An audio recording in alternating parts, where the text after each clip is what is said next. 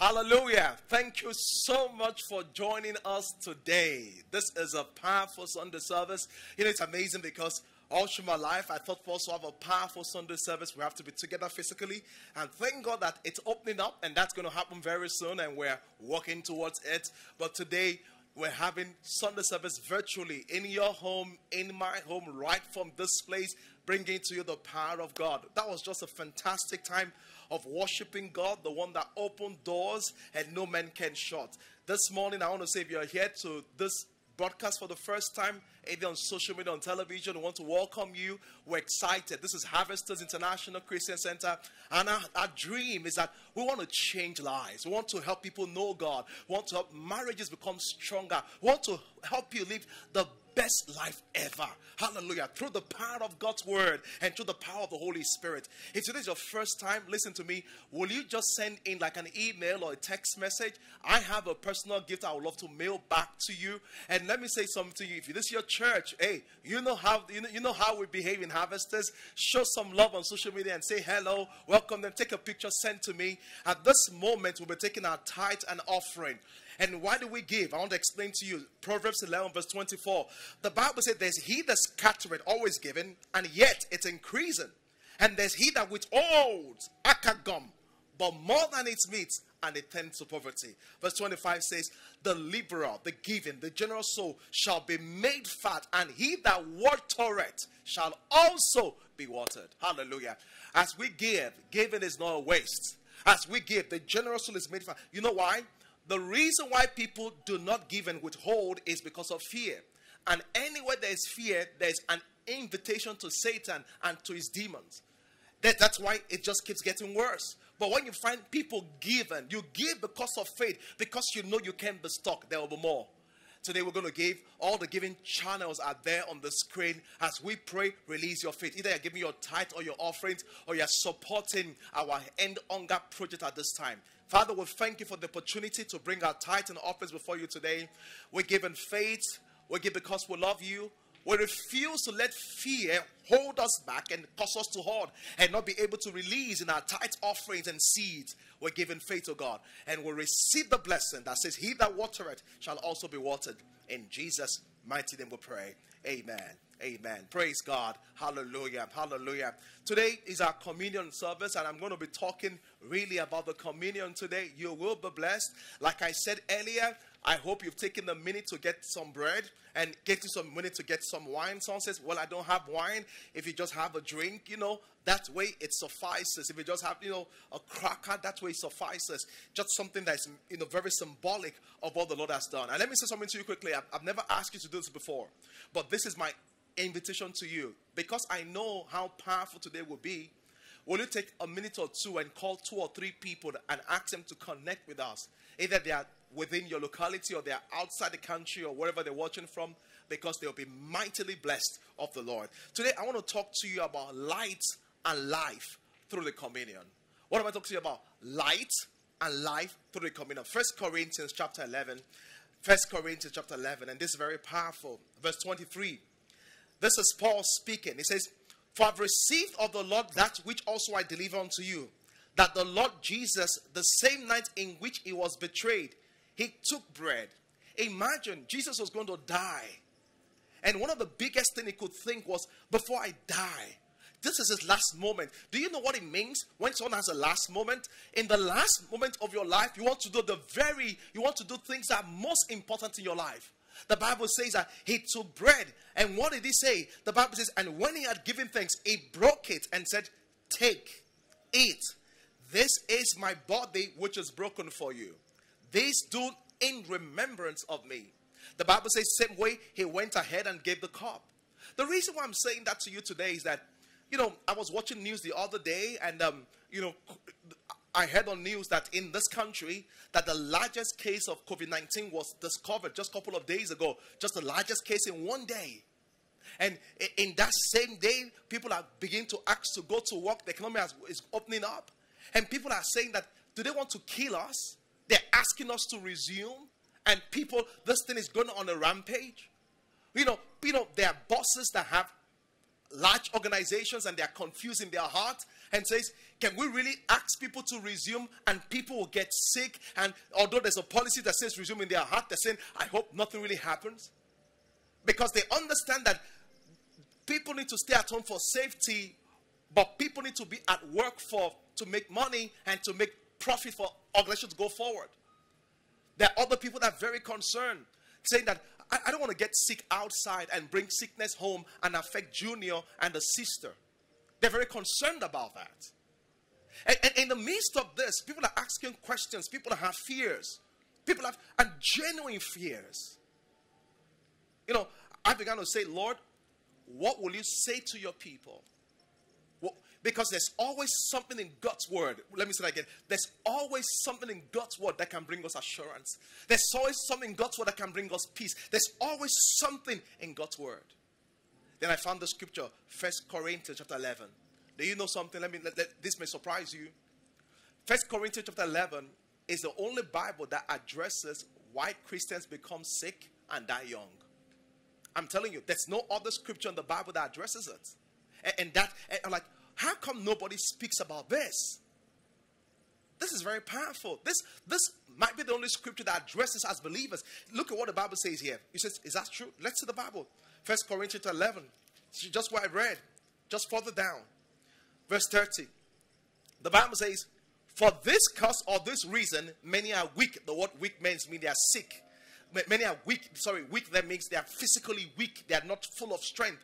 The other one says they are sickly. T- take note of this reason. It says, for this cause. Listen what it says. It says, many. That is huge. It says, there are a lot of people. Many are weak. Some are sickly. Many are sickly amongst you. And many sleep. Many actually die. How, like, my goodness. There's a reason why people are ill, sick, and die in the Bible. I want to know that because if I can know what is killing them, I can know how to stay alive. I can know how to stay alive. And if you're wondering that, you know, I don't want to get sick, that's your service. And if you're wondering that, you know, I just want some kind of direction, this your service. Because God is going to speak to you in a, in a very specific way. So let's talk about the communion. You know, the communion on the night just going to die, I read part of the scripture to you. He brought out the bread and the wine. And when he took the bread, he broke it and gave thanks and gave it to them and said, This is my body. Eat. This body is broken for your sake. And he took the cup. The cup was a cup of wine. And he sipped and he gave it to them and said, Thanks. And give thanks and give. Said, This is my blood that was shed for you. This is the blood of my new covenant. The reason I'm saying so is this the communion is more than bread and wine. The question is this what is the communion? Why, why did God even choose the symbol of bread and wine, which is very important? The reason why is this how is bread created? How is bread made, rather? Bread is made from grains, and when, when, when they get the grains, you know what they do? They begin to pound it. They begin to knit it and pound it, showing that, you know, when they pound it, then they bake it. They pound it and pound it, then they bake it. That talks about Jesus Christ. When he came on earth as grain, human beings hit him, they knit him, they pounded him, and that was not enough. He went on the cross and we baked him there. Why the wine? Because how is wine made? Wine is made for grapes. When grapes are found, grapes are crushed. This is the tradition of to make grapes in those days. They would they will crush the grapes, and when they crush the grapes, they'll put the grape in the dark room. Then you will have wine out of it. What happened to Jesus Christ? Jesus Christ, when he came on earth, he was crushed. Not some says the Jews crushed him. You know why? God knew you would say the Jews crushed him. So God made sure that somebody that was a Gentile touched him. You know what that person was? His name is Pilate. All the Pharisees and Sadducees represented the Jews. Pilate represented the Gentiles, showing that it was both the Jewish community and the Gentile community that taught Jesus Christ. But the Bible says, so, so the wine is crushed and put in the dark room. So we just was crushed. He went to a dark place called hell. But after hell, our Savior rose again. So the body speaks. What is it? The, is it this is my body, which is which is broken for you. This he said, This is my blood, the New Testament in my blood. The, so, what does the body mean to us today? The body, if the body of Jesus was broken for me, my body should not be broken. My body should not be plagued. My body should not be ravaged with disease. See, this is amazing. He said the body was broken. He said, What about the blood? I love what he says about the blood. Look, look, look at this verse. Let, let's read down. Verse 25. After the same manner, he took the cup. And when he had supped, he said, This cup is the New Testament in my blood. This do ye for as often as ye drink it in remembrance of me. What is the blood? Jesus Christ said, The whole of the New Testament is in this blood. That is amazing. The whole of the New Testament, the blessings, the graces, the miracles, the Spirit, is it's in my blood.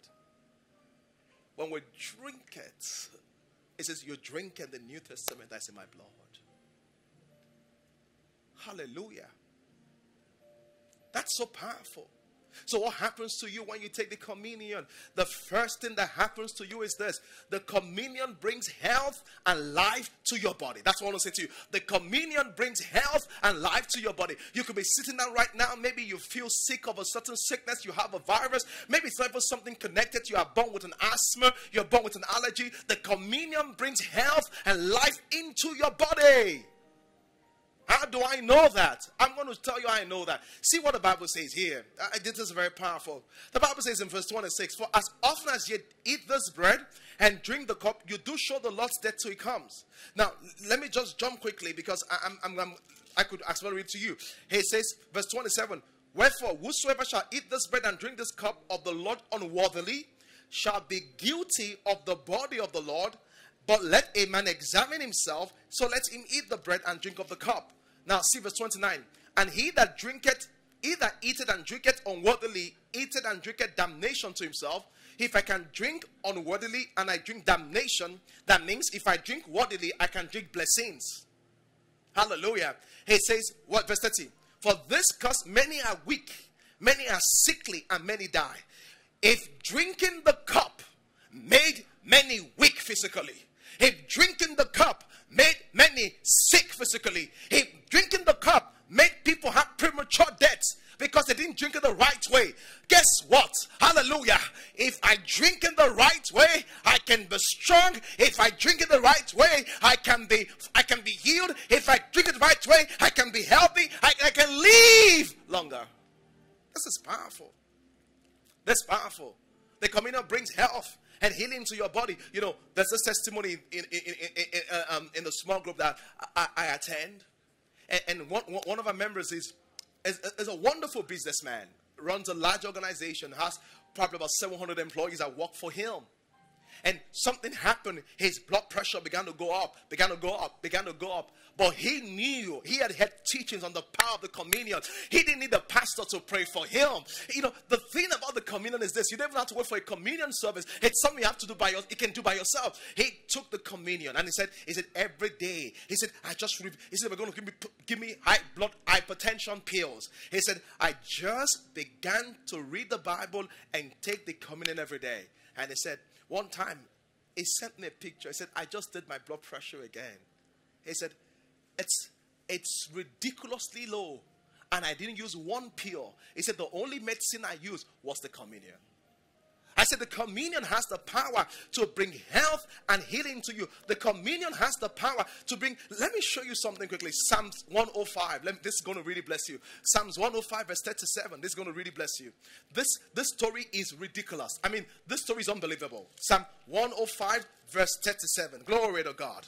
Hey, hey, hey, hey, hey. Verse 37. See what the Bible says talking about when Israel came out of Egypt. The Bible says, and they brought them um, Psalm 105, verse 37. The Bible says, And they brought them forth also with silver and with gold. Next line. And there was not one feeble person amongst that tribe. This place confused me. I'm like, what?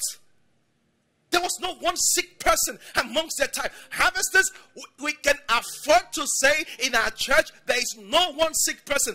This is a crowd of about two to three million people, and there was no one sick person amongst their tribe. That's what I hate about the movie when they showed the story. You know, they showed Israel carrying their older ones on wheelchairs and on stretchers. That's not biblical. The Bible says that every grandpa and grandma, grandmother was chasing after each other. There was no feeble person amongst them them. There was no feeble person amongst them. Let me tell you what the miracle is.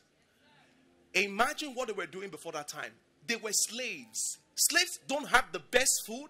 Slaves work in the worst condition, and because of the pressure that Joseph put on Pharaoh, Joseph, uh, sorry, Pharaoh made their life so difficult. Naturally speaking, their health should be breaking down because they've gone through so much. They don't sleep well. They don't have good food. They have to walk all the way to work. They have to do all this manual work. They should have so much sicknesses. But yet, the Bible says there was no feeble person amongst them when they left Egypt. Someone says, okay, what does that mean to you? Because this, this, is, this is the key. Because a night before they left Egypt, they took the Passover, which was a type of the communion. Hallelujah.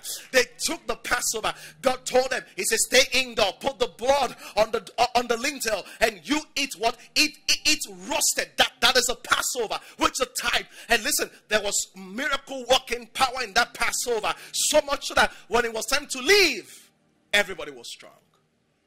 Hallelujah. I say hallelujah. The communion brings healing and health to your body. I, I heard a talk of someone today that had a, a, prostate cancer. And, and this is, I mean, I could just really show you the testimony. I, I was hoping I could get such a testimony. And the person, when I had prostate cancer, he said, what I just began to do was every day, I would just sit by my bed and take the communion and declare, his body was broken for me. His blood was shed for me.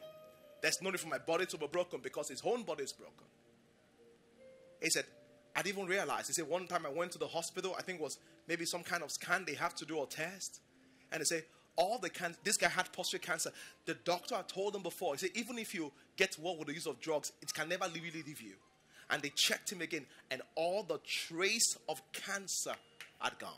All the trace of cancer had gone. Someone says, maybe you have the virus, the communion is your choice. I'm telling you. I'm telling you, it will drive it away. The, it will drive it away. The, hallelujah. The second thing the communion does is this the communion breeds a consciousness of heaven. You know, something I like about the con, you know, when you are on earth, for example, many of you run businesses, and I know you're looking for information. You're watching dollar price, you're watching commodity price, and you're watching this and that, and you can have things that will increase your faith and things that will depress you, and you're so worried. Sometimes all you need is a heaven consciousness. That's what you need. Just a conscious of who your God is, how big your God is. You know what I notice?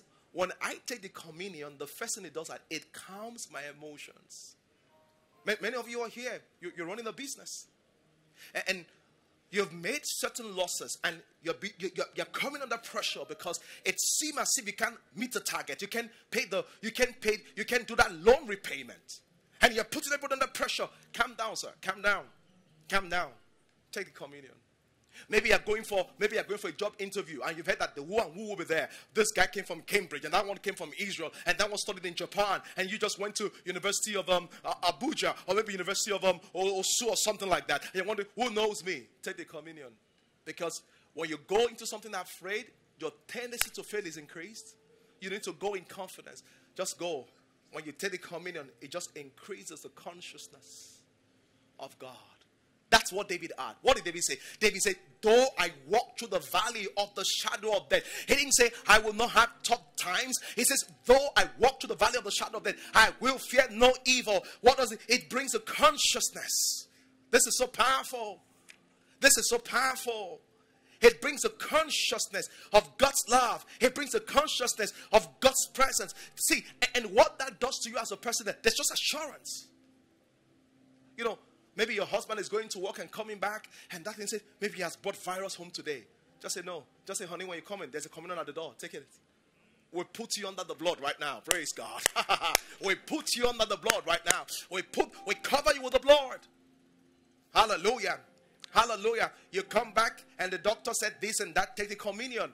Because the more you read the doctor's report on how you can have a, um, a child, how your hormones are going crazy, you that's it. Take the communion. Hallelujah. This is a way to say it. Just imagine, this is a way to say it. Just imagine you have a police case. And it's a very tough police case. And they said there's a warrant to arrest you. And you walk into the police station with the governor. How will you do? When you walk in with the governor, you don't walk with your head bowed. You come in with full confidence. The reason is because of someone that's with you. When you take the communion, you are conscious of who is with you. That greater is he that is in me than he that is in the world. Hallelujah. That whatsoever is born of God overcometh the world. And this is the victory that overcomes the world, even our faith. And guess what? When you have assurance, divine direction is clear when we are conscious of his presence. I'm telling you, the Bible says, it says, it says, but still and know that I am God. This, let me tell you something. Many of you are trying to take very strategic business positioning right now in your business. Maybe there's an maybe, maybe there's an opening. There's something you're trying to do in your business. He says, You will not find it in run up and down. He said, Be still. How do you become still? Calm down your emotions. And know I am the Lord. Bible says, In quietness and confidence shall your strength be. I'm telling you, wait, it says, out of you will draw waters out of what? Out of the well of Zion. The third thing the communion will do for you is this the communion will amplify illumination. I'm telling you. In Luke chapter 24, I wish I had time to show you the scripture. Huh. Jesus Christ appeared to two disciples. They were walking up and down, walking up and down. He appeared to them and he went on a journey. And they said, Please pass the night. And of course, he passed the night. He was going to pass the night. Then all of a sudden, they didn't even take the communion. Jesus only took bread. And when he blessed the bread, they didn't take, he just blessed the bread. When he blessed the bread, the Bible says their eyes opened and they knew it was Jesus. But he has been talking to them for seven hours. Listen, they didn't even eat the bread, they just blessed the bread. And their eyes opened. There's something. Someone says, maybe, maybe the way blessed the bread was something we're used to. Come on. He spoke to them for the past six hours. The journey from Jerusalem to where they were is, a, is 10 miles. He saw that they didn't know who he was because they couldn't see. But there was something about him blessing that bread and breaking up that just opened their eyes. They just saw it. I'm saying something. Many of you are trying to take a strategic position for your business. You're trying to reposition your business. You're trying to reposition what you do. You're wondering, these are the stats. What should I do? You've seen the budget. You've seen the positioning. You've seen, you're, you're making analysis. And you're wondering what to do. Listen, before you take a decision, you go to God in prayer, put the communion there. When you took the communion and take it, the eyes will open, sir. The eyes will open. Once the eyes open, you will see. I'm telling you, Jesus was there all along, but they never could see that was Jesus Christ. I'm saying so because some of you are here and things are happening to you, and you're wondering, what's going on? What will I do next? As a mother, you're worried, okay, how will I manage my job and this school thing? You know, as a career person, you're wondering, are they going to lay us off? Is this pay cut for a long time? How will I achieve my goal? As a single girl, you're wondering, you know, this John is over there, he loves me a lot, and Aki is over there, he's a great guy, and, and, and you know, and, and Sean is over there, he's fantastic. And imagine, you know, Kechi is over there, he's really handsome, and there's and, and, and there's you know, this other guy that comes from the US. Which of them is good? I said, take the communion, your eyes will open. Once your eyes open, you will begin to see what you could not see. Jesus was in front of them forever. They couldn't see him. There's something about breaking bread that amplifies illumination. And the and the last thing I will say is this. hey, how will I say this to you? Hmm. The communion releases a part of God. I'm telling you, you know, because human beings, you know, when they say pray and believe, you, we want to touch something, want to feel something, we want to touch, but there's not to touch. The communion release. So, because the communion itself is a point of contact. The woman said, even the children and um, the, the, the, the servants eat of the crumbs that fall from the table and they're healed.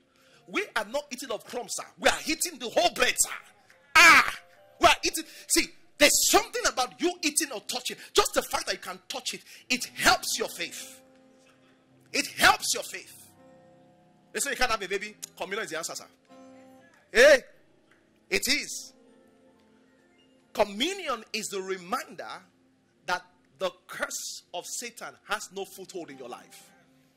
Communion is a reminder that the curse of Satan, the curse of this world, has no foothold in your life. So, what do you mean? we lost the Garden of Eden and who man was because Adam and Eve ate something. We gain back the garden by eating something again. Hallelujah. We get it back by eating something. They ate the fruit and we lost the garden. We hit the communion and we get back the garden. Praise God. Hallelujah. Oh, glory to God. We get it back by eating something. You know, someone eh, this was a witch and wizard. I said, witch and wizard? He said, what makes you witch and wizard? You know, let me tell you something. When they say witches and wizards, they drink blood. I, I'm not even sure how they drink blood. But the reason why they make them feel that way is that there's a consciousness they want them to have that they are superhuman. They drink human blood. if what makes you a witch, if you know a witch, call them to watch now because I want to talk to them. If you have any power, show it. Nothing can happen. If what makes you be a witch is that you drink blood and you eat body, me, I drink blood. Me, I eat body. I eat the blood, not of human, of God. I eat blood of God. You are eating ordinary human being. And you think you are big. I'm eating the blood and the body of God. Hallelujah. The curse has nothing on me. Nothing. Nothing on me. The curse has nothing on me. The curse came by eating the forbidden fruit. Life comes by eating the accepted fruit, the tree of life. That's the life in Christ. Someone says, Okay, I'm going through a challenge. What do I do right now? The communion can help you. Someone says, Okay, Pastor, if I want to the communion, I don't have bread right now, I don't have wine. What do you have? Then do you have some ribena? That can do. Do you have some agege bread? That can do. Hallelujah. Someone say, Pastor, yes, but I'm not worthy. I'm not worthy. I, have heard that if you if, if you take the communion and you're not worthy, let me correct that quickly because there's an error in that in, in that place. So the question is that what should be a blessing scares us a lot because we've been taught wrongly. What should be a blessing scares us a lot because we've been taught. Let me say it again. What should be a blessing a lot of people stay away from the communion because it's now scary because of religion has turned down theology. It has confused people. See what the Bible says. First Corinthians 11. This is what it means. The Bible says this. Wherefore, verse 27, Whosoever shall eat this bread and drink this cup of the Lord unworthily shall be guilty of the blood, body, and the blood of the Lord. So let a man examine himself, and so let him eat of the bread and drink of the cup. For he that eateth and drinketh unworthily eateth and drinketh damnation to himself, not discerning the Lord's body. For this cause many are weak, sickly, and many sleep amongst you. Notice some, this just English. When he addressed this issue, what was he addressing? Did he say the person was unworthy or the person drank or ate unworthily? Oh, mm. He never said that an unworthy person drank it. He said, What happened was this a worthy person drank or ate unworthily. What does it mean to eat or drink unworthily? He says this right there. They ate it in verse 29, not discerning the Lord's body. They ate it like, you know, they ate it like some kind of lunch. They ate like some kind of food. They just ate it anyhow. They, their mind was brainless. And let me tell you something Nothing kills the power of communion like eating it out of religion.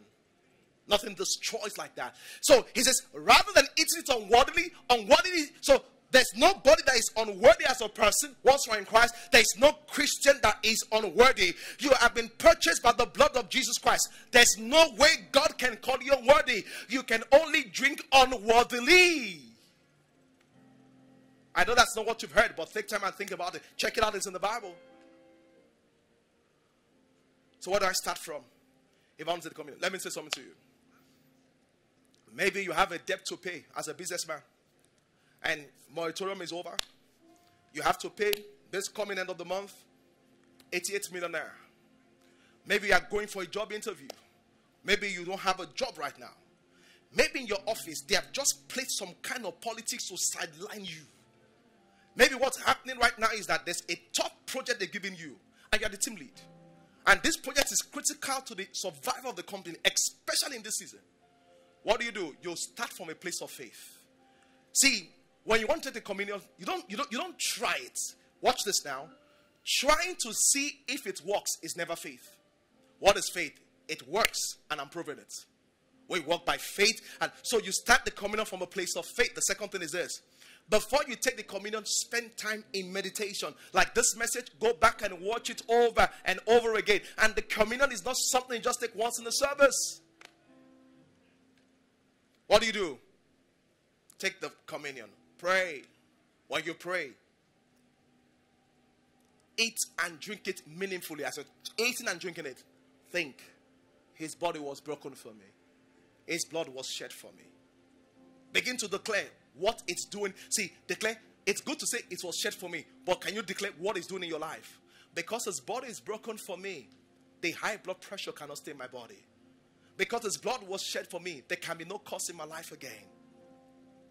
When you finish doing that, so you pray, you eat and drink. Then what's the next thing? You pray in the spirit and begin to declare the word of God. Ah, when you finish, this part you pray in the spirit, begin to declare the word of God. And as you're doing that, guess what? Be sensitive to the guidance of the Holy Spirit. What I say? Be sensitive to the guidance. So as you're praying, don't just pray with empty mind. Open up your mind. That's why they say open up your mind. The scripture I showed to you, Luke 24. Did you notice what the disciples said? When Jesus Christ, when they finally knew Jesus Christ and saw him, they said, All the while he spoke to us, was our heart not burning? That our heart was, we felt something. You know what I'm saying? So, most times, God is directing people on the inside but they don't know. They sense the sensation, but they're not able to pay attention that the Spirit is saying something. And I, am you know I'm saying this to you? Christians know how to receive direction when it comes to operational things. Oh, do this, do that, do that. But when it comes to strategic things, in strategic thinking, Christians don't know how to what, how to receive direction because strategic. Most of them are not even exposed to strategic thinking. Even when it's there, because it's futuristic, they neglect it. So most Christians if God had shown them a vision like Joseph, that there will be seven years of plenty, seven years of uh, famine, they will not respond to it because they are not used to strategy, strategy thinking. I'm saying this here because as you're praying, as you're praying, you open up your mind, not operational thinking, no, Father, I need this. And Lord, in the name of Jesus Christ, where is this country going? How do I position myself? This country, this company I'm leading, how do I become the MD of First Bank? You begin to say, How do I achieve this goal of being a governor? Those are strategic things. Start praying now. As you pray, the Bible says their heart was burning within them. Listen to me. You ha- their heart was burning, but they didn't understand why your heart is burning. Let me explain this. And next week, I'll be teaching on how to know if it's God that is speaking to you. I'm going to talk about seven ways God talks to you and how to know if it's God. When your heart begins to burn, the way guidance work is it. If God must continue talking, he must have your attention. Until Moses turned around to look at the burning bush, there was no further instruction. It was when he turned around that he said, Take off the, your foot, your, your slippers. What you are is only. The problem is this God is speaking, you have not turned around. Today, even when the service is over, you just say, honey, wait. You and your wife, you grab your hands together. All the ghosts, this day special, oh. all the ghosts for June, you bring it together. You start praying fire. You start praying fire because the fire must fall. Let me tell you something. COVID 19 must not be the reason for your failure. It must not be the reason why your goals are not met. Why? Unto him that is able to do exceedingly abundantly, far beyond what we can ask think. He's the one that opens the door and no man can shut it. He's the one that shuts the door and no man can open it. I believe that this is your season. One of our, in, in, in, in the cell I laid, one man, the first COVID 19, lost over a billion naira. One person. When he came for cell meeting, and if I'm not in a small group, I feel really bad about you. You have to find a way to get there. People that can help your faith. Oh, when he came for cell meeting, he said, Pastor Bolaji, my blood pressure right now is 170, 130. If he drops dead right there, it's not, it's not that accident happened. No. That's how people die with that kind of blood pressure. I told him, he said, I'm finished. He said, How where do I start from? I just what I did, I took communion, brought it out. I said, Let's take communion. When you don't know what to do, take communion. He came back a couple of weeks ago. He said, Everything I've lost, I've recovered. I'm now moving over what I've lost now. The season is not over, but God has restored everything. I'm telling you because something strange is happening. There's explosion, financial explosion, business explosion, healings. As I'm speaking to you right now, healings are taking place this morning by the power of the Holy Spirit. I'm telling you something. Business ideas are breaking forth. Some of you, you're going to get to work, and the favor of God is released right now.